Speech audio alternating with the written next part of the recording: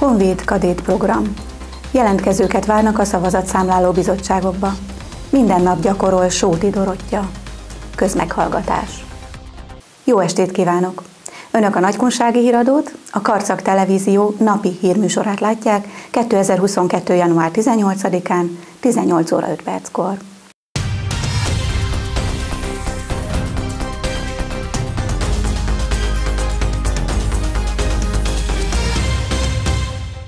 Ünnepélyes keretek között írták alá a Honvéd Kadét partneriskola megállapodást a Karcagi Szent Annai Sámuel Református Középiskolában. A Magyar Honvédség részéről Poják András ezredes a Magyar Honvédség második vitéz Vattai Antal területvédelmi ezred parancsnoka.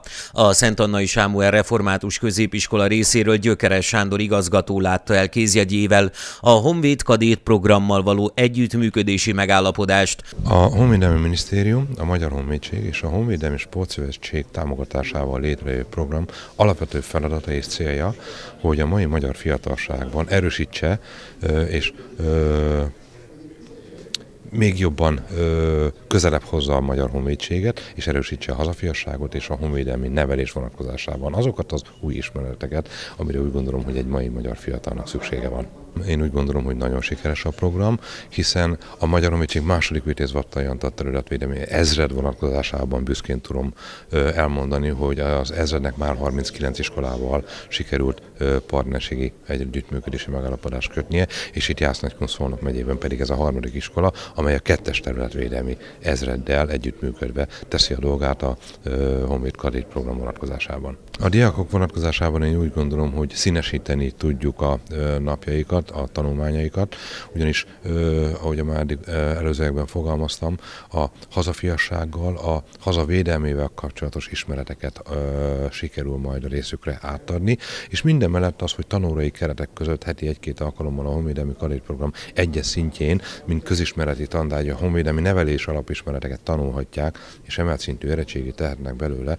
Én úgy gondolom, hogy nagyon sok olyan szabadidős programot tudunk szervezni a részükre, többek között laktanya látogatásokat, akár egy gyakorlatra is ki, tudjuk, ki fogjuk vinni a kadétjainkat, de akár honvédelmi táborokat is tudunk szervezni részükre, ami színesíteni fogja a tanulmányaikat is, meg a szabad idejüket is. Almási László alezredes, a Honvédelmi Minisztérium oktatási, tudományszervező és kulturális főosztály honvédelmi, nevelési és ifjúság stratégiai osztály vezetője átadta az erről szóló partneriskolai tanúsítványt és gravírozott táblát az iskolavezetőknek.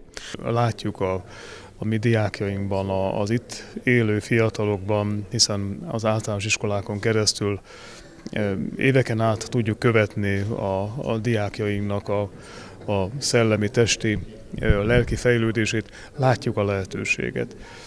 Nagyon úgy néz ki, hogy igen népszerű lesz ez a képzésünk is, mert, mert megvan hozzá a, a rossz szóval élve, élve az emberanyag.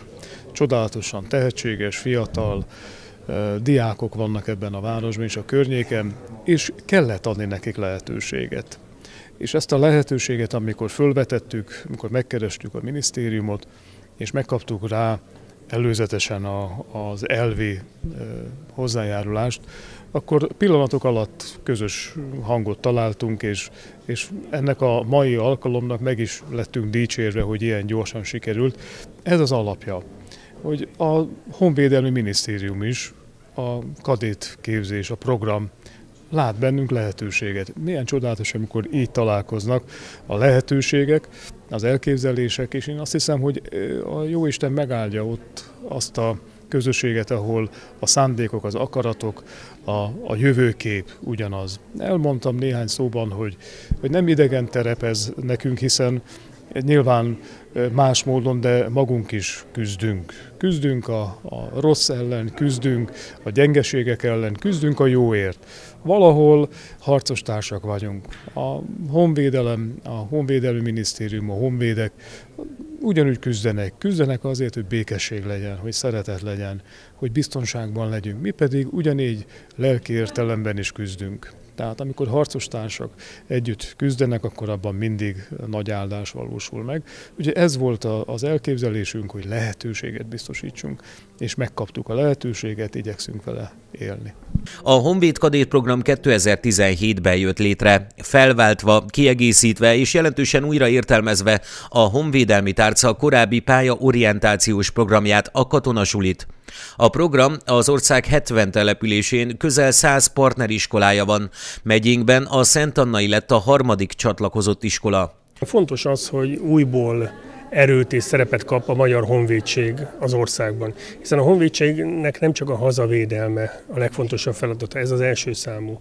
De feladata az, hogy a felnövekvő fiatalságnak olyan értékeket közvetítsen, amely hazaszeretet, a hűség, a bajtársiasság és a kitartás. Én azt gondolom, hogy aki erre a honvédelmi kadétképzésre ide beiratkozik Karcogon a Szent Anna és Sámuel szakközépiskolába, az, ha nem is lesz katona, nem is lesz hivatásos katona, de a testi, lelki kitartásban, a hazaszeretetben, a bajtársiasságban nagyon sokat fog kapni. Én biztatok minden fiatalt, hogy jelentkezzen a kadétképzésre, mert nagyon sok pluszt tud adni a 21. század felnövekvő ifjúságának. Az együttműködési megállapodás fontosságáról szólt az aláírókon kívül még F. Kovács Sándor országülési képviselő, nagy tiszteletű Koncz Tibor elnök lelkész, a Nagykunsági Református Egyházmegye Esperese és Szepesi Tibor polgármester. Meggyőződésem, hogy egy új lehetőséget, egy új kiugrási pontot a városban tanuló vagy a városba érkező környékbeli fiataloknak, hiszen egy olyan szakmai program, egy olyan képzési forma került a mai nappal bevezetésre itt a Szent Annai Sámuel Református Középiskolában, amely segíti a városban élő Eh, fiatalok, diákok eh, itt maradását a városba, a további boldogulásukat egy olyan lehetőséget biztosít, amelyel kinyílik előttük a világ, hiszen egy nagyon jól szervezett programnak lehetnek részesei, amelyet aztán a későbbiekben vagy hasznosítanak a saját életükben és folytatják ezt a pályát, vagy pedig azokat a képzési formákat, azt a tudást, amelyet ezen keresztül kaptak, az élet más területein tudják kamatoztatni. Úgyhogy nekem meggyőződésem az, hogy egy nagy nagyon-nagyon jó lehetőség a város tanuló ifjúságának. Az ünnepi műsorban az iskola néptáncosai Baligabodon Péter, Cinege Gergő, Szabó Levente, Hortobágyi és Kalotaszegi férfi táncokat adtak elő. Várják a jelentkezéseket a helyi választási irodák az április 3-ai országgyűlési választás és az azzal egy időben rendezett országos népszavazás szavazatszámláló bizottságaiba. A választás során kiemelkedő szerepük van a szavazat számláló bizottságoknak. Feladatuk a szavazás lebonyolítása, a választás tisztaságának, törvényességének biztosítása, a pártatlanság érvényesítése és, ha szükséges, a választás törvényes rendjének helyreállítása. A szavazatszámláló bizottság állapítja meg a választás szavazóköri eredményét is. Az áprilisi választáson és népszavazáson mintegy 11 ezer szavazatszámláló bizottság működik majd. A szavazatszámláló bizottságok legalább öt tagúak. A testületek három tagját a képviselőtestület választja meg a helyi választási iroda javaslatára, legkésőbb március 14-én 16 óráig.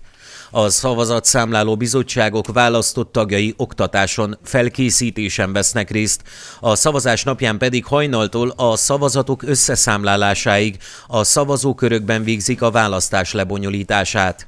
Munkájukért díjazást kapnak, ez egy januárban kiadott miniszteri rendelet értelmében bruttó 35 ezer forintról 50 ezer forintra emelkedett, ami nettó 33.250 forintot jelent a bizottsági tagoknak. Emellett mentesülnek a szavazás napját követő munkanapon a munkavégzés alól.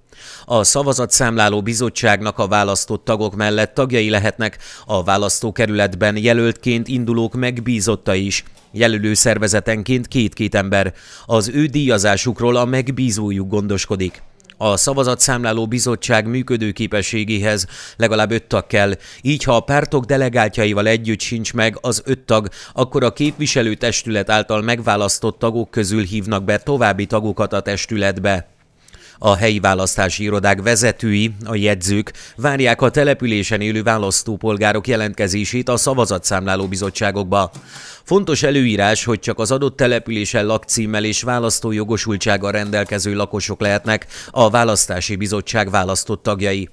Nem lehet a bizottság tagja, képviselőjelölt, képviselő, alpolgármester, jegyző, másik választási bizottság tagja, választási iroda tagja, és az, aki a honvédséggel szolgálati jogviszonyban áll párt tagja, a választókerületben jelöltet állító szervezet tagja, a választókerületben induló jelölt hozzátartozója, valamint egyes államigazgatási szervek munkatársai sem lehetnek a bizottság választott tagjai. Arról, hogy hol várnak még jelentkezőket szavazatszámláló bizottsági tagnak, a települések polgármesteri hivatalában lehet tájékozódni. Sóti Dorottya Sára, a Karcagi Nagykun Református Általános Iskola diákja is szerepelt az évvégi karácsonyi ünnepségeken, emellett azonban versenyekről is szép eredményeket hozott. Vele beszélgettünk. A művészeti iskolában most épp klarinéton játszik, előtte furujázott. Azért váltott, mert megtetszett neki a klarinét, nagyon különleges a hangja. Két évet furujáztam, most második éve klarinétozok, és az elejétől fogva klarinétozni szerettem volna, csak akkor nem volt hely, és most lett. És mi vonzott a klarinét felé? Tehát miért tetszett ez a hangszer? Hát mindig tetszett nekem. De a, a, ahogy szól, vagy ahogy ö, maga a hangszer kinéz? Hát minden tetszett, nagyon különleges a hangja, és... Ö, és akkor szeretsz rajta játszani. Mennyit gyakorolsz?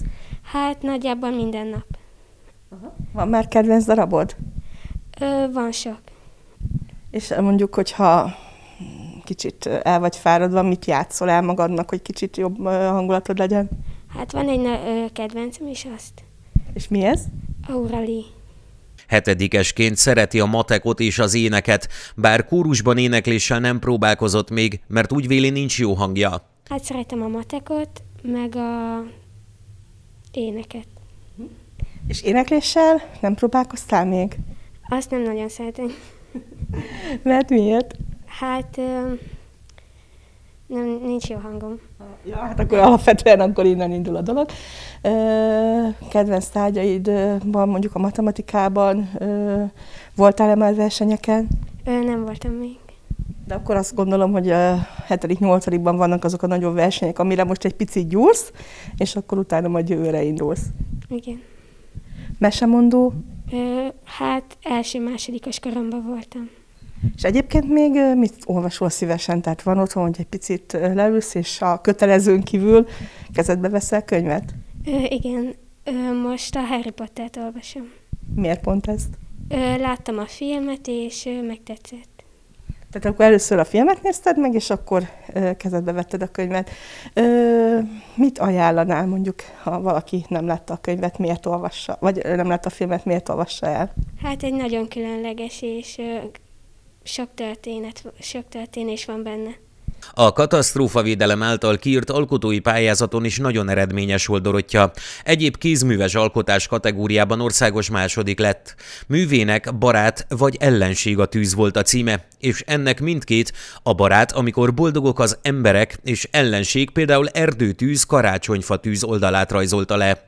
Egy ilyen alkotói pályázat, lehetett mesét írni, számítógépes programot rajzolni.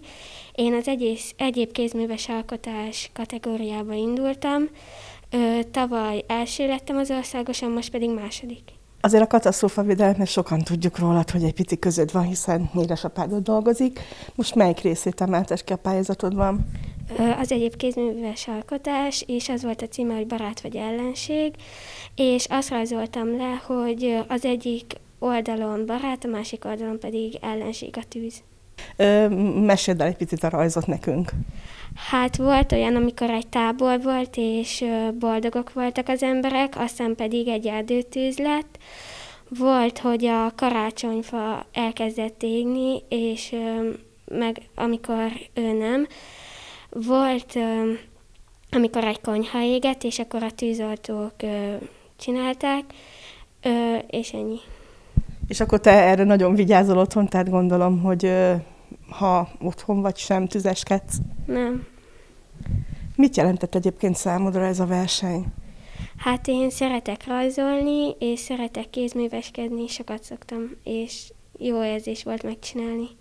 Dorottya Szeret rajzolni, kézműveskedni, most édesanyjával épp gyöngyöt fűznek otthon. Kicsit időigényes, de amikor kész egy angyalka, akkor ő is boldog. Az első fél év előtt csupán három-négyese van, amit még a következő hetekben megpróbál kijavítani. Hát matekból állok négyesre, meg ö, történelemből, meg természetből van egy kicsi az ötösünk. Akkor még van néhány heted, hogy ezen javítsál. Igen. És ezek miért így alakultak, hogy nem ötösök? Tehát volt esetleg valami olyan nehezebb feladat, ami picit kifogott rajtad? Hát töriből nem tanultam pontosan, matekból ö, mindig fél pont volt a hia, természetből is ugyanez, mint matekból. Az osztályközösségük nagyon jó. Mikulásra egymást is megajándékozták, ahol a vásárolt ajándék mellé egyedik is ajándékot is készített a kihúzott társának. Az angol eddig nem volt a kedvence, de már kezdi meg szeretni azt is, és reméli, sikerül fél évig javítani a három-négyesén. A Karcag városi önkormányzat polgármestere értesíti a város lakosságát, hogy 2022. január 27-én közmeghallgatást tart. Karcagvárosi önkormányzat polgármestere értesíti a város lakosságát, hogy 2022. január 27-én csütörtökön 15 órai kezdettel a Karcagvárosi önkormányzat képviselőtestülete közmeghallgatással egybekötött ülést tart a Városháza egyes számú tanácskozó termében Karcagon a Kossuth tér egy szám alatt. A képviselőtestület az ülésén a Karcagvárosi önkormányzat 2022. évi költségvetéséről szóló rendelet tervezetet közmeghallgatással egybekötve tárgyalja, ahol az állampolgárok és szervezetek képviselői közérdekű kérdést, javaslatot tehetnek. A közmeghallgatásra minden érdeklődőt tisztelettel várnak, áll Szepesi Tibor polgármester televíziónkhoz eljuttatott közleményében. Kedves nézőink!